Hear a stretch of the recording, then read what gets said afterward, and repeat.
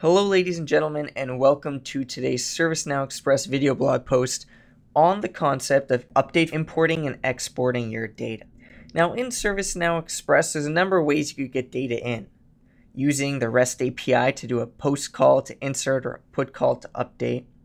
Using email and an inbound email action to create a new record or use a reply to append data. But in our case we're going to focus on the most common, a manual method to insert or update your data via a simple XLS spreadsheet. Now, any table in ServiceNow that you come to and you're viewing at a list view, new window or existing window, you're going to see that you could right click one of those columns, incident for example, and you'll have an option to either import or export. Now, let's start with the simplest exporting the data. So you could get your data out of ServiceNow from any of these tables by A, filtering down on exactly just the data you want to export. So do that filter first or remove all filter conditions first to get all your data. And then right click export as Excel, CSV, XML, or PDF. Now something that you'll notice if you do an export such as this, the data that you download is going to purely include the columns you currently see in your list view. So if you want all columns of data, personalize that list view and add every single column that you want to see data for. But if you wanted every column, that might be tedious to add them and then remove them. So there's a quick and easy way you can pull out all this data, and it has to do with when we touch on the update functionality. So when we come in and we right click, we can actually go to import. And from that import option, you'll be brought to this screen that asks you, do you want to insert or update data? Basically, an insert, it creates a new record. Update, it requires the SysID in its column of its own, and we'll talk about the formatting in a moment. And then it'll update your existing data based off that matched SysID. Now you may ask yourself, how in the world, if I do an update on my existing data, will I easily be able to correlate or know what all the sysids are? And that's the great part about this Create Excel Template option. Let's first touch on the update because it goes back to exporting data out, and then we'll tie right back into the insert. So for the update functionality, if you select update and check mark yes, I want to make an Excel template, you'll notice that the system will actually export that data of yours that you have currently, those records, and it'll include all your data. So you'll notice here if I come into my page one after that direction sheet, I'll see all that data, all my columns. It shows the field labeled alphabetically in row one across. So you can see all the fields there. And at the end, you'll see that you'll find the sys ID. And the sys ID again is that primary key, if you will, the unique identifier that the system uses to correlate those records on update. And as you can see, since it pulled all that data out, it's also a great way to get every single column, all the current values of your information in the system. From the list view, if you were to do a filter based off your search criteria, it'll only pull back that data you filtered for. So if I did a show matching on sysadmin, and then I went to do an export from here, it'll only show me this data I'm currently viewing. Now, another thing to keep in mind is when we import in, making sure that the syntax is proper. So when you have that external data, maybe you already had Excel sheets laying around. Maybe you're using a third-party tool from a legacy system? Well, export it out to XLS format, even if you don't have a format like that, that's going to be the end format we're going to get it in, is XLS. And to get you an idea of exactly how it should be formatted, you simply go to click that insert and then create that Excel template.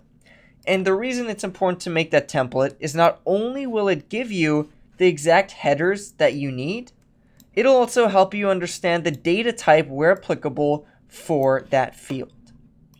So what I mean by that is you can see here active. When I click into the active value, it's actually a select box of just true or false. So where it can, the system will actually limit my available choices, categories, and other one choice fields to only legal entries. And this is a very important note of importing data. And that goes for updates as well. When you import in data, you need to make sure it's a valid reference. So if it's a choice field like category, I have to pick a valid choice field. If it's a reference field like assign to, I have to do a valid reference if they're invalid, if the references do not yet exist in the system, its system won't automatically create them for you. It counts on and it needs that you created that reference beforehand. So from this template, you're just going to paste into the appropriate column that data that you may have already had. So your existing Excel sheet, if you had exported one, most likely the columns are differently labeled or named. So it's up to you just to align it and then copy paste the proper data into the proper column. So let's go ahead and save this and import it back in. My incident 14 template, we're going to come in, we're going to choose that file,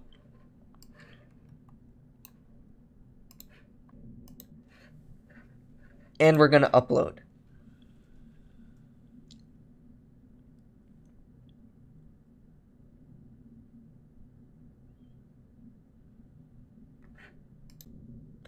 Now you'll notice when you preview the imported data, it'll actually show you all the fields that you had set with their values. So as you can see here, I set the assign to to system administrator. I set the category to hardware and the short description to proper data. So I can validate here in this preview window any errors that would occur and basically the rows of data that I would be creating.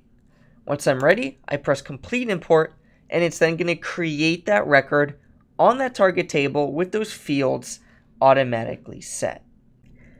Now, a common question is what if two users have the same name? So, there I put in system administrator. What if I had two system administrators? Well, one thing you could do is right click the records and get their sysids, and that's their unique value. Keep in mind if you do the update template, that's another way you could get everyone's sysid just do an update on the user table to download that template file. And then if we go back to our Excel document and this time replace that system administrator with that sysid, we're going to go ahead and now and save. You'll notice that the system also accepts it as a legal import. So another right click, import. I'm going to go ahead and I'm going to choose that file I'm inserting. Again, insert to create a new record. It's going to be that incident 14. I'm going to go ahead and select it, and I'm going to press upload. Once I preview the data, it's going to show me the assigned to field maps to reference element, but the value in Excel can't be referenced. Please use an existing reference value in Excel for best results. So this is one of those cases where it'll show you a potential error. The assign to, it's coming up purely as that sysid instead of that reference user. But you'll notice if you ignore row arrows, errors, excuse me, and complete that data import, when we get into the actual record that's created, it will be our proper system administrator. So that's one of those cases where the system's warning you that, hey, you know, our initial first glance, we think it may be an invalid value. But per the data you're putting in, you probably, you know, you will know best if the value you're putting in is a sysid as opposed to random string, if it'll actually be something valid that the system will take in as opposed to not. So you'll notice here that assigned to that got created, that sysid, even though the system warned us, we could ignore that error and complete the import, and it was successfully pointing to that system administrator user record. So we talked about inserting records into the system via this XLS sheet. Really simple. You just paste in all your data into the appropriate columns, make sure that it's a valid reference or a valid choice, and then import in. One other note on the update functionality. Not only can you update via importing in an update XLS sheet, but you can also update right from the data on your window. So what I mean by that is maybe you want to do a mass rewrite. You know, maybe you made a new choice field and instead of hardware, you started calling it physical for some reason, you know, for your company reasons. Instead of going in and manually editing or having to do an Excel export and import to change all those reference values, another neat thing you can do in platform is simply right click and do an update all or update selected.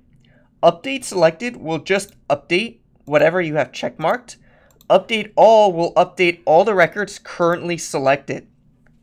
And what I mean by selected is not checkmarked, but sort of filtered down. So show matching on inquiry help, for example. This now shows me all inquiry help issues. Another example that is these this blank caller, for example. I've got four here, blank caller. Let me get rid of that filter so I have all eight with a blank caller. Call equals none. Instead of doing an XLS export and re-import using that update functionality, I can actually just right click and say update all. And this will bring me to a window of uh, basically the form view for that specific table and any data value I set. For example, here, I'm going to set Beverly as the caller and I now press update. What the system will do is all those eight records where caller was empty, it now just updated caller's Beverly.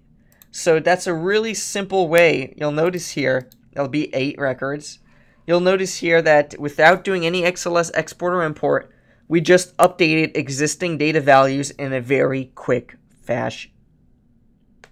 One final note, and that is regarding the knowledge base content. It's a little bit different because there's just one other option. When you go into your knowledge base, you'll actually notice that when you open one of those knowledge bases up and you have the proper roles, you have an import button available to you.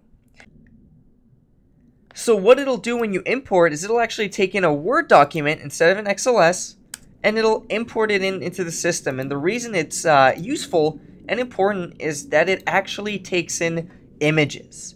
That's one of the things doing an XLS import won't get you is images doing this multi-word doc import, it will take those images and put them right there within that post. Really simple, great functionality for importing when you have images.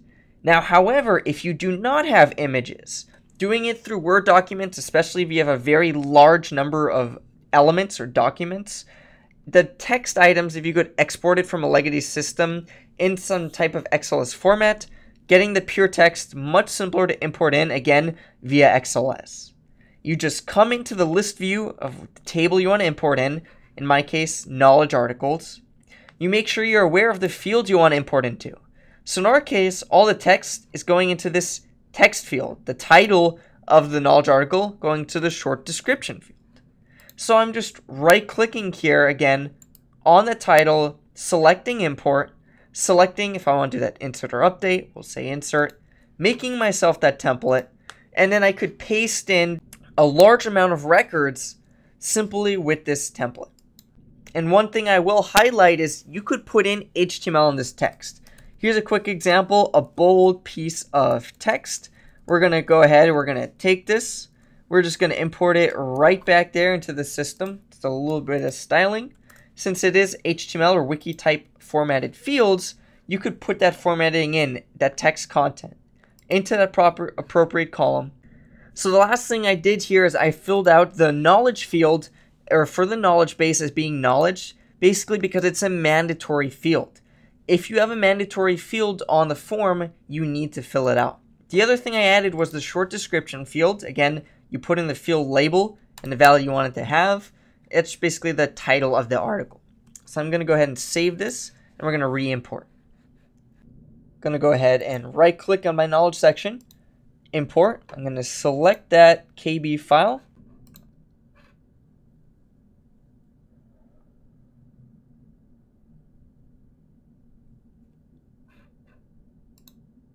And when I preview that imported data, you can go ahead and see that it, it has exactly that information I was looking for, knowledge base text. Now, if the field you put in does not exist, such as my short description, it's going to go ahead and tell us. I'm going to go ahead and complete that import. And as we can see, there's the knowledge article, and there is my formatted text field. This concludes our video on using the XLS import and update functionality for getting your data in and out of the system from those list views with a simple right click on a column header.